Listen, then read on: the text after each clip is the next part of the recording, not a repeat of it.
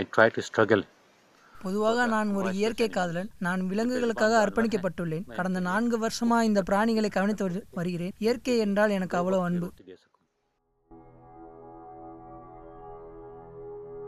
இந்திய விமானப்படை வீரர்கள் ஒவ்வொருவரும் தனது வாழ்க்கையையே அர்ப்பணித்து அல்லும் பகலுமாக பாதுகாப்பு துறையில் வேலை பார்த்து வருகின்றனர். அந்த வகையில் முன்னதாக விமானப்படை வீரராக பணியாற்றியவர் முகமது சோயிப் அலாம்.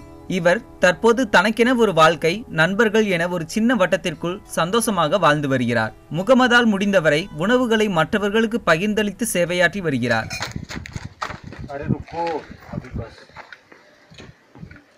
अभी टाइम हो गया ना इनका ये देखिए सब इंतजार कर रहे हैं हाँ, वो इंतजार नहीं करता वो कहाँ से खाता है खाना ये दिक्कत है உத்தரப்பிரதேச மாநிலம் முபாலிசி பகுதியில் உள்ள முசோரி ஹதிபவான் எனும் இடத்தில் அலாம் தற்போது வசித்து வருகிறார்.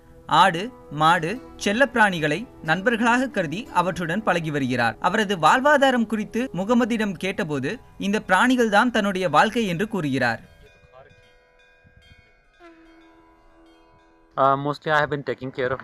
இது ஒரு சின்ன சவால். ஆனால் இதுதான் எனக்கு சாதனை. And animals strong nature lover तो मुझे नेचर से काफ़ी ज़्यादा मोहब्बत है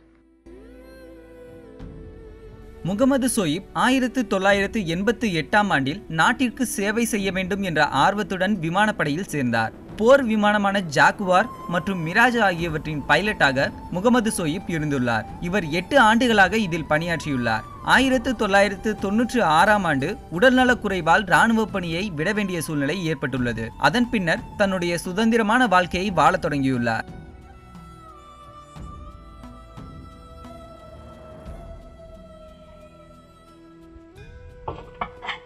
இது நான் என்னுடைய செல்ல பிராணிகளுக்காக வேலை பார்க்கிறேன். அவர்கள் என்னுடைய என்னுடன் வைத்துக் கொள்வேன்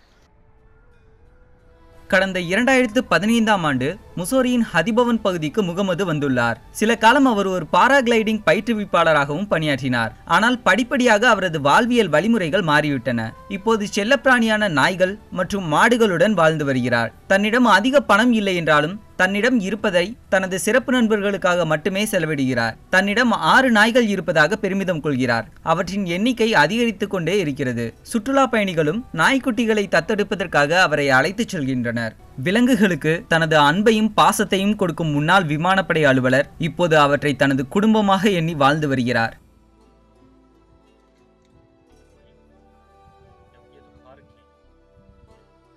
जो अबंडेंट लावारिस जानवर हैं मैं ज़्यादा என்னுடன் வரும் நிதியை நான் செலவிடுகிறேன் அல்லது இந்த விலங்குகளுக்காக என்னால் முடிந்த அளவு சம்பாதிக்கிறேன் நான் மாவு அரிசி ரொட்டி பருப்பு போன்றவற்றை சேகரிக்க முடிந்தவரை நான் அவர்களுக்கு உணவளிக்கிறேன் जितना हो सकता है जो फंड मेरे पास आते हैं या जितना मैं कमा सकता हूँ तो मैं इन लोगों के लिए खर्च कर देता हूँ जहाँ तक मैं इकट्ठा कर सकता हूँ आ, आटा चावल रोटी दाल वगैरह तो वो मैं इनको खिलाता हूँ நாய்கள் மற்றும் மாடுகளுக்கு இரண்டு வேளை உணவு செய்து முடித்த பின்னர்தான் தனக்கான உணவை பற்றி யோசனையே செய்கிறார். மனிதர்கள் தங்களை பற்றி மட்டுமே மும்முரமாக சிந்திக்கும் இந்த சமூக சூழலில் விலங்குகள் மீது முகமது சோயிப்பலாம் காட்டும் தன்னலமற்ற அன்பு நம் அனைவருக்கும் ஒரு எடுத்துக்காட்டாக விளங்குகிறது.